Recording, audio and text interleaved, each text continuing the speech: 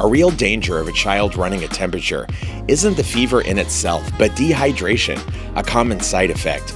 Your child's fever might make them sweat excessively and lose important minerals.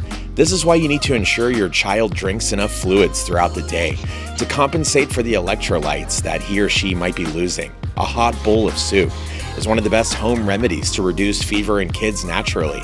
Not only is soup full of essential vitamins and minerals, but it's easier for your child to digest. Try avoiding instant soups as homemade is always the healthiest option. There are plenty of easy and healthy soup recipes that you can make in no time at all.